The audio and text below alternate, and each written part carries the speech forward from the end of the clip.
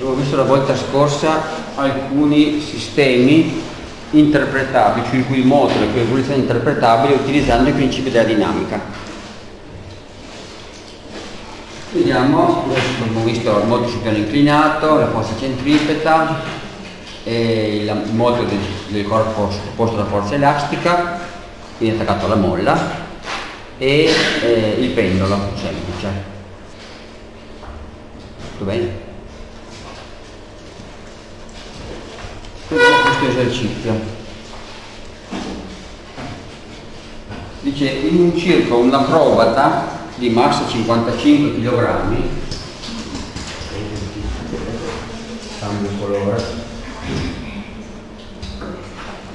la massa della probata è di 55 kg, salta su un tappeto elastico che oscilla di moto armonico. Il periodo dell'oscillazione è di 2,3 secondi. Qual è la costante elastica del tappeto? Il tappeto si comporta come una molla e il periodo dell'oscillazione, fatemelo scrivere un poco meglio, il testo dice è 2.3 secondi. La massa dell'atleta, della probata 55 kg, abbiamo visto la volta scorsa che il periodo di oscillazione della molla vale 2π greco per la radice di m fratto k.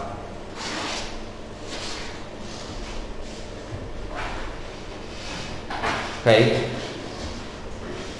Quindi m 55 kg k non la conosco però t lo conosco in questa relazione l'unica incognita è k quindi inverto e abbiamo t su 2π greco alla seconda che vale m fratto k quindi k vale m per 2π greco su t quadrato.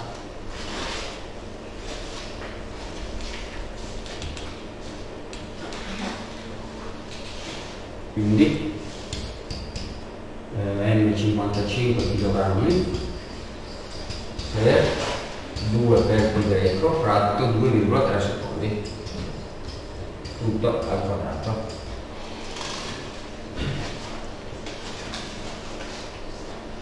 Invertiamo la limite dell'elettronica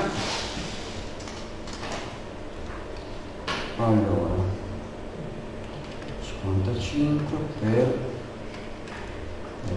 ecco 2.3 410,5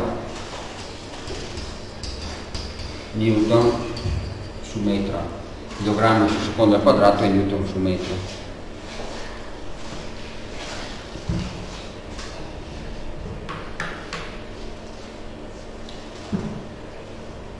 domande?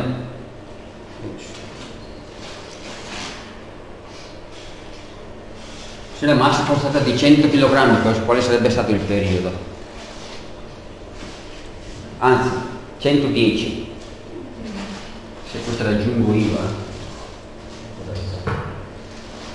Se uso un altro atleta, M2 110 kg, quale sarebbe il periodo del tappeto elastico? Cambiava? C'è chi dice no, c'è chi dice no, c'è chi dice sì. Aiuta. Aiuta.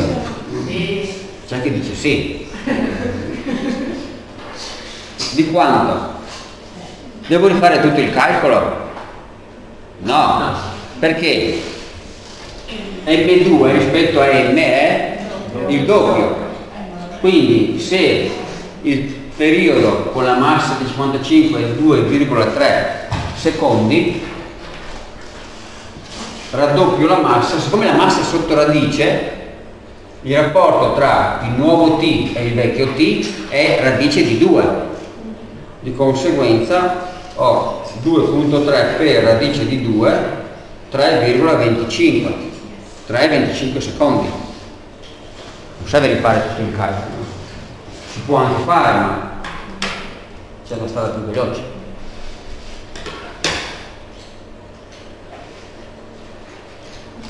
la massa sotto radice due volte la massa il, il K, cioè io sostituisco poi il K al... il K è lo stesso Sì, e lo sostituisco a T uguale P Certo. Ah, ok,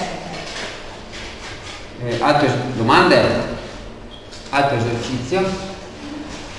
Eh, qua. Quindi P2 vale, questo è uguale a 2 volte M, P2 è radice di 2 volte P.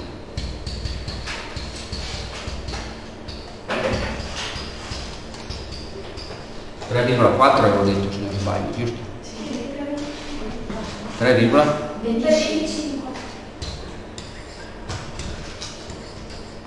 secondi. Altro esercizio, questo è un po' più succulento. Abbiamo un oggetto che segue una traiettoria circolare. Ok? E per far seguire questa traiettoria, questo è collegato a un punto fisso da una molla c'è la molla attaccata a questo oggetto e lui ruota. La, il raggio della, della sua orbita, della sua traiettoria R, K la costante elastica della molla, M la massa dell'oggetto, il problema ci dice che la velocità angolare con cui sta ruotando, omega, vale 3,21 radianti al secondo. Ok? La massa del pesetto è 210 grammi e la costante elastica K della molla è 200 e 89 newton tratto metro ok inoltre ci informa che il raggio della circonferenza il raggio di traiettoria R grande vale eh, 38,1 cm domanda qual è la lunghezza a riposo della molla. Quanto sarebbe lunga la molla se fosse ferma.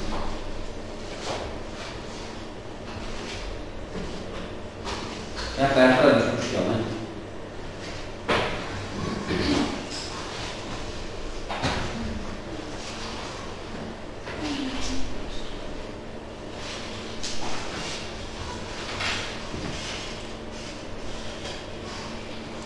la parola alla difesa. Allora, primo punto. M si muove su una circonferenza. Ogni volta che un aggeggio si muove su una circonferenza c'entrano due cose molto imparentate tra di loro. La, la forza centripeta e l'accelerazione centripeta. Ok? Quindi primo punto, dovrò giocare la carta accelerazione o forza centripeta. Poi c'è un altro personaggio importante in questa storia che è la molla. Ogni volta che c'è una molla, a meno che non venga specificato altro, entra in gioco la, la forza elastica. Ok? Dopodiché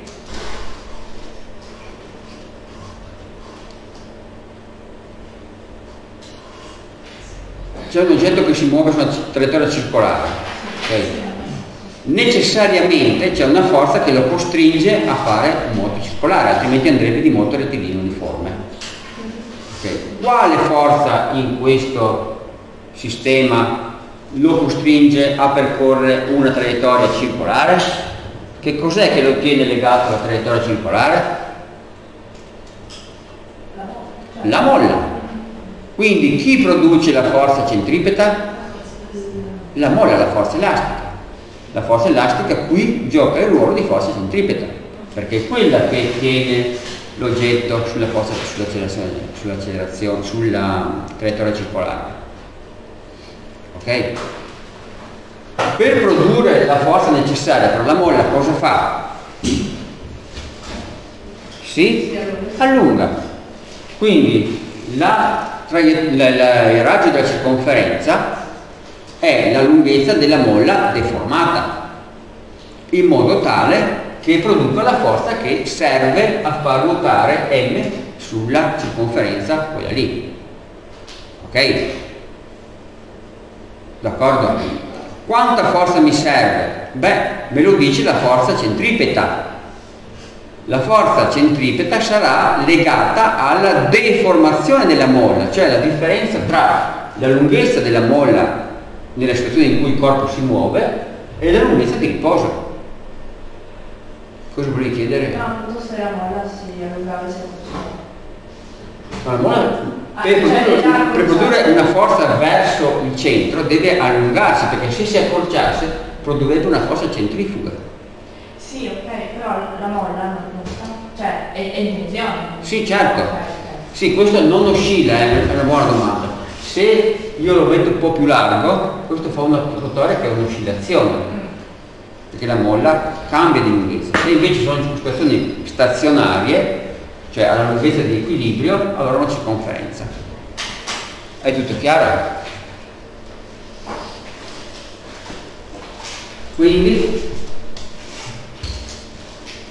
la forza centripeta che è necessaria a mantenere l'oggetto sulla circonferenza sarà massa del sassolino attaccato per l'accelerazione centripeta. Ora, che cosa conosco del sistema? Conosco il raggio della circonferenza e la velocità angolare. Quindi mi conviene esprimere questa come omega alla seconda R, piuttosto che come V quadro su R, perché li conosco già tutti e due. D'accordo? Ma, primo punto. Secondo punto, la forza centripeta chi la produce? La molla. Quindi questa è anche uguale a k volte, lasciamo stare il meno, che dice solo che è una forza um, di richiamo. L'intensità della forza è k volte l'allungamento di delta L. Ma l'allungamento della molla, delta L, non è altro che la lunghezza attuale della molla, che è il raggio della circonferenza, meno la lunghezza a riposo. Quindi prima trovo delta L e poi da qui mi trovo L0. Ok?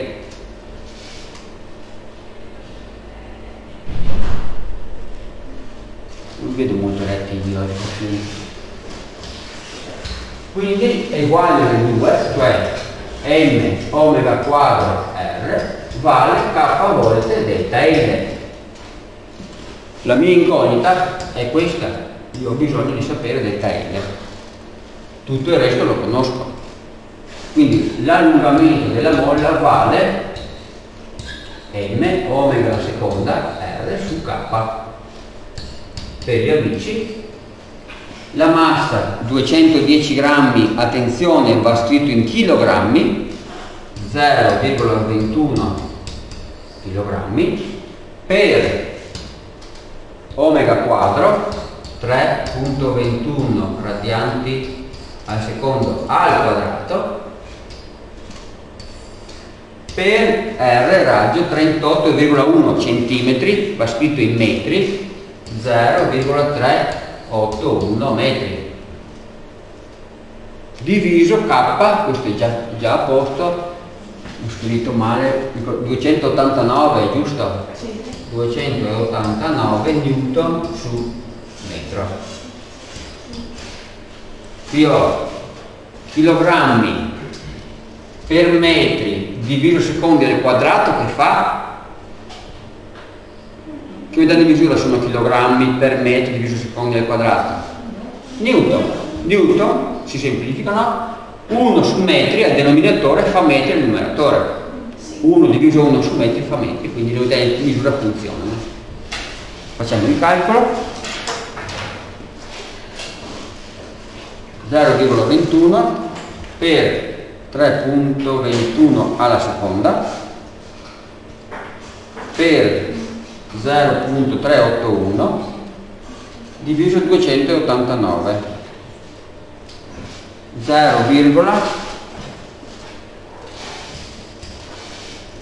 0, 0, 2, 8, 5 metri, cioè circa eh, 0,285 centimetri, potrebbe avere raggio in centimetri, ok? Di conseguenza dato vita riposo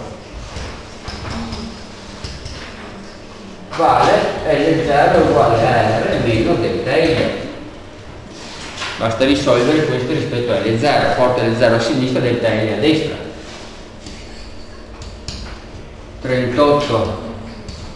38,1 cm meno 0, diciamo 3 approssimiamo centimetri viene eh, 37,8 centimetri.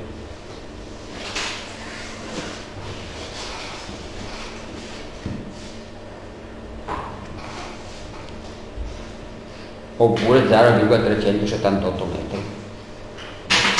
Ok?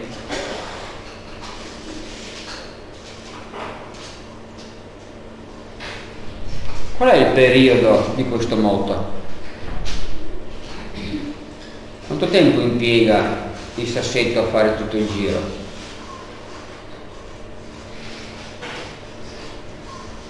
Uè. Omega 2π greco diviso t, t 2π greco diviso omega. Abbiamo omega che è 2π greco su t, t vale 2π greco sull'unità angolare, cioè 2π greco su, non mi ricordo più, 3,21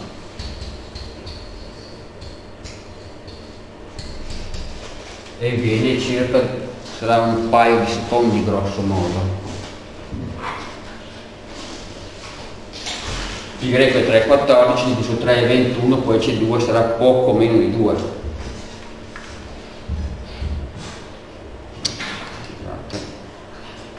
Per il greco diviso 3.2 1,96 secondi.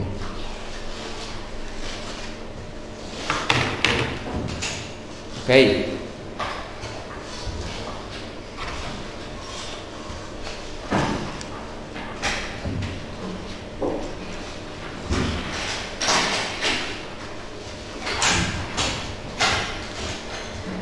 Vado avanti?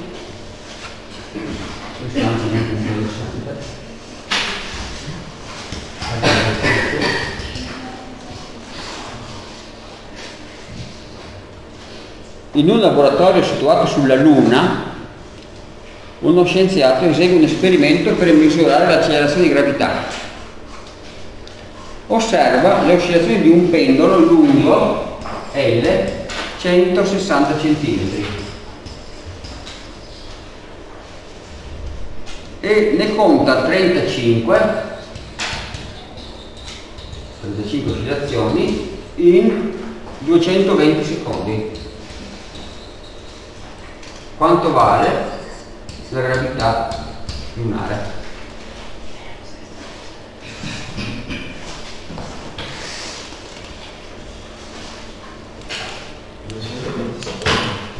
Sì, 35 oscillazioni in 220 secondi.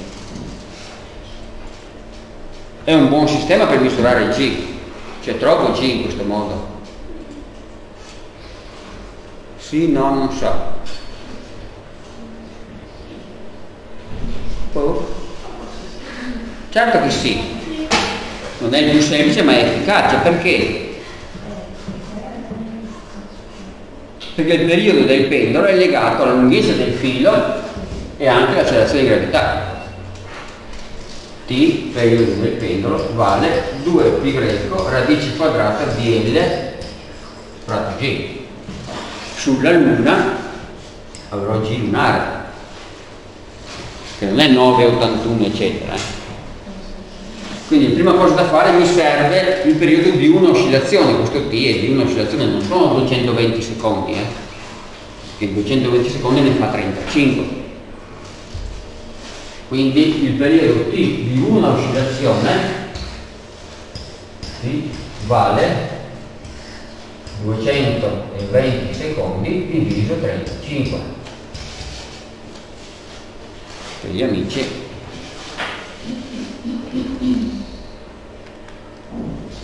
6,29 secondi. Quindi lavoriamo sulla relazione del periodo, troviamo GL, G sulla Luna, elevo le, divido per 2 pi greco ed elevo al quadrato, e trovo L fratto G, quindi GL vale L per 2π greco fratto T tutta la seconda un po' di algebra non fa mai male. Quindi 160 centimetri in metri 1,6 metri. Per fare su 2π greco diviso 6,29 secondi al quadrato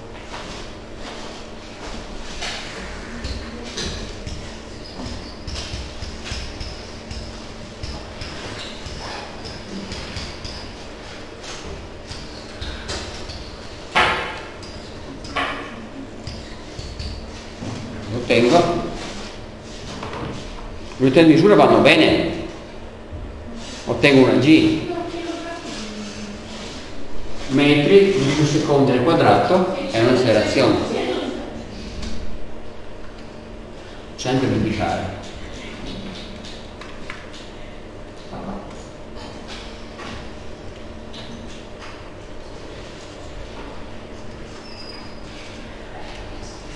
uno 0,6 metri al secondo quadrato.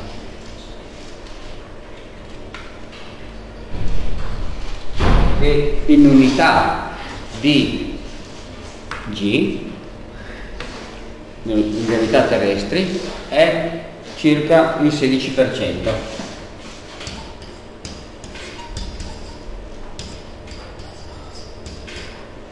GT 981 sulla Luna la gravità è il 16% di quello che è sulla Terra, cioè circa un sesto. Quindi andare sulla Luna è un'ottima problema grande, sulla bilancia pesavo 60 kg, lei segna 10. Drammatica, ma efficacissima.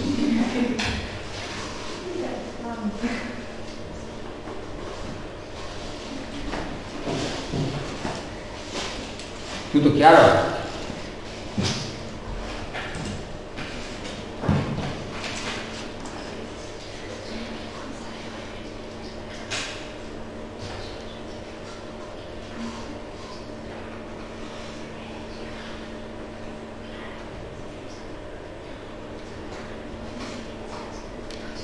Oh, facciamo anche questo.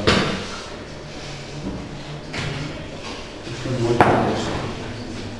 Vado avanti?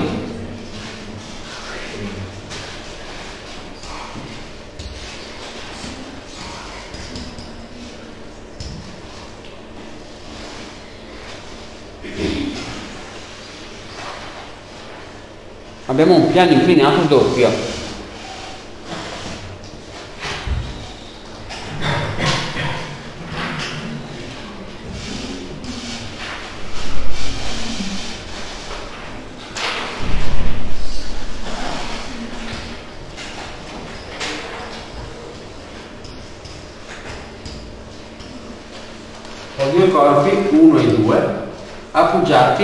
su due piani inclinati appostati. Il primo corpo, uno, quello a sinistra, è sul piano inclinato ha un'angolazione alfa 1, quello a destra ha un'angolazione alfa 2.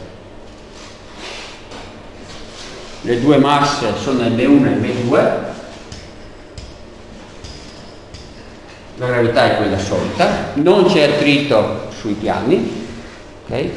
calcolate con quale accelerazione si muove questo oggetto, considerando noti M1, M2, alfa 1 e alfa 2, quanto vale l'accelerazione.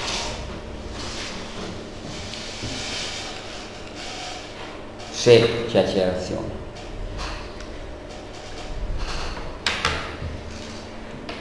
Ok? E il traduttore certo, scusami, non l'ho detto ma l'ho solo disegnato, i due oggetti, i due casse sui due piani sono legati da un filo senza massa e senza attrito. C'è una fune che li lega. Trascurate la massa della fune stessa, il fune è inestensibile, cioè non cambia di lunghezza e non è elastica. Allora, che cosa facciamo?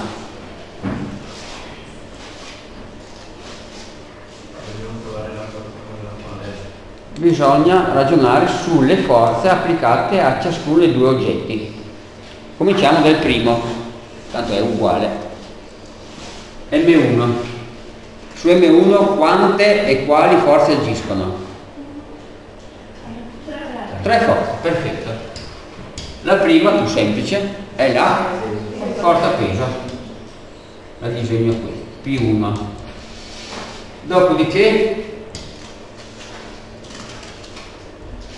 come sta su un piano inclinato c'è la reazione vincolare R1 non so se riuscite a vedere? Questa è una R. E infine la tensione del filo T1 corpo 2 molto simile. T2 R2 T2 ok. Le tre forze sono in equilibrio. Potrebbero essere ma in generale non lo saranno. Non è detto che il sistema sia in equilibrio dipenderà dalle masse e dalle inclinazioni dei piani. Quindi presumo in generale che si muova cioè che sia sottoposto ad accelerazione. Prima considerazione da fare, prima considerazione importante.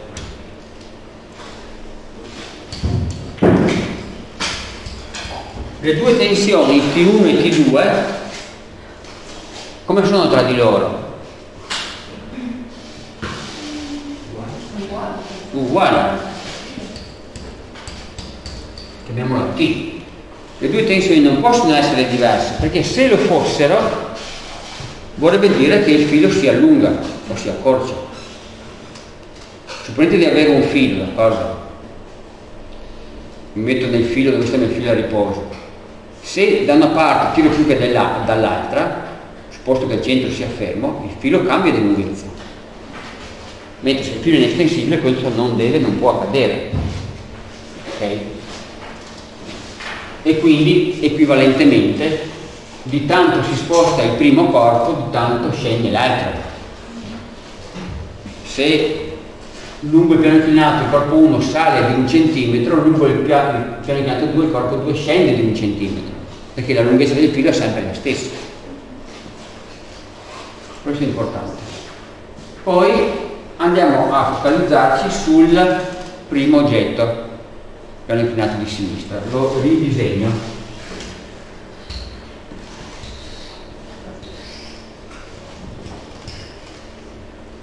Corpo numero 1, P1, che volta chiamo tensione T ed R. La forza risultante sul corpo 1 sarà, secondo il principio della dinamica, la somma di tutte le forze.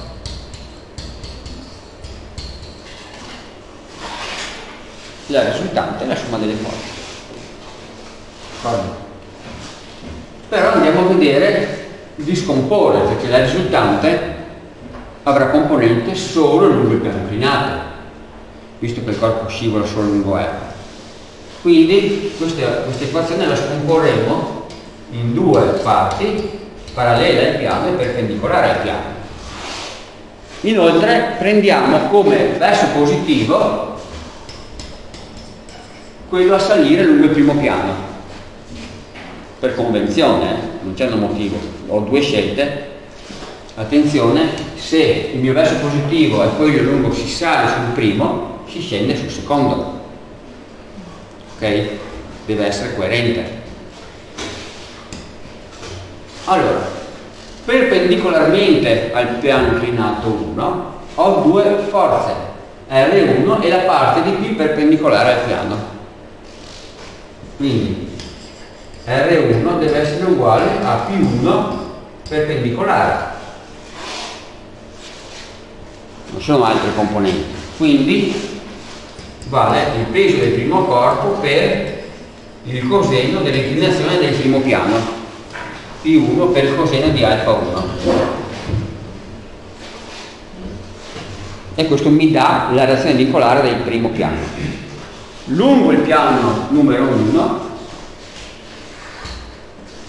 per l'aumento del piano ho la risultante quindi è il mio 1 a 1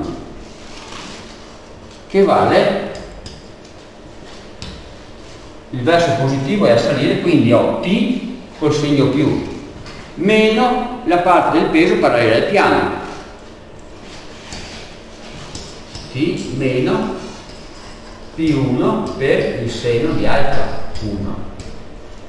La parte di P parallela al piano è peso per il seno de dell'inclinazione. Ok? Quindi il mio sistema mi dice che la massa 1 con l'accelerazione 1 vale T meno P1 se alfa 1. Ma nel corpo 2 la situazione è identica, solamente che in questo caso il, corpo, il verso positivo è a scendere. Quindi qui ho P2 parallelo e T che va dall'altra parte. Quindi per il corpo 2 ho M2 a 2 che vale il 2 parallelo meno T perché la direzione positiva è verso il basso ok? non solo ma come abbiamo detto pochi istanti fa l'accelerazione del primo corpo rispetto a quella del secondo in che rapporto sta? Lo spostamento del primo, qualunque esso sia, siccome la lunghezza del filo è costante, se il primo corpo si sposta di delta x1, di tanto si sposta il secondo. Non può cambiare, se no il filo cambierebbe di lunghezza. Ma se gli spostamenti sono identici, lo sono anche le velocità e lo sono anche le accelerazioni. V1 è uguale a V2, A1 è uguale ad A2. I due corpi accelerano nello stesso modo. Quindi in queste equazioni in realtà qui questo simbolo indica la stessa cosa, ho un'unica incognita e questo mi è di grande aiuto perché per il primo corpo posso scrivere M1A che vale T meno P1 sen alfa 1 per il secondo corpo ho M2A che vale P2 sen alfa 2 meno T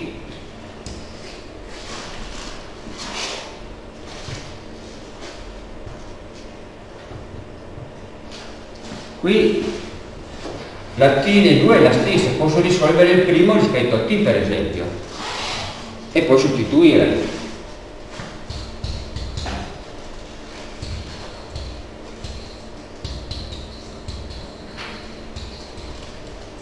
T vale M1A più più 1 se ne alfa 1 e quindi M2A vale P2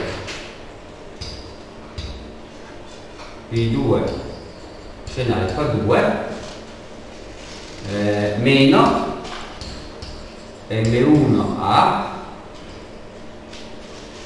più P1 se ne alfa 1 ho sostituito t nella seconda equazione.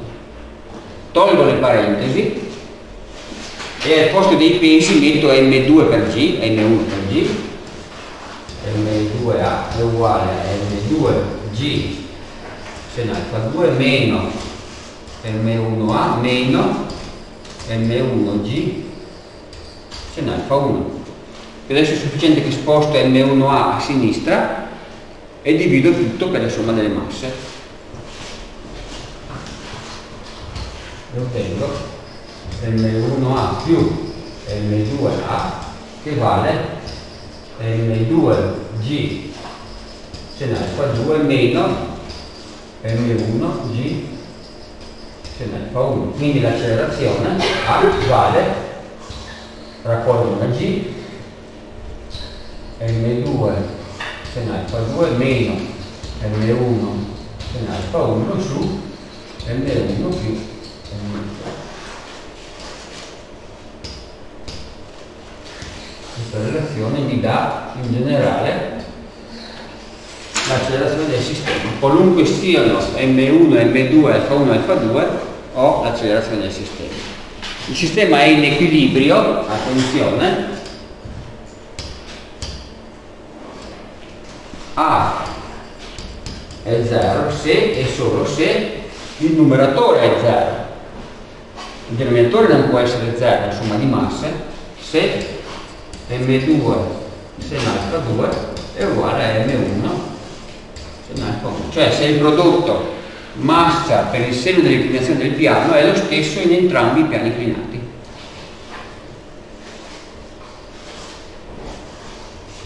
in quel caso il sistema è in equilibrio, altri no. Se quindi per esempio ho il valore delle due inclinazioni, alfa 1 e alfa 2, e il valore di una massa, posso trovare l'altra massa da mettere sul piano inclinato M2, in modo tale che in equilibrio da questa relazione. M2 vale M1 per sen alfa 1 diviso sen alfa 2.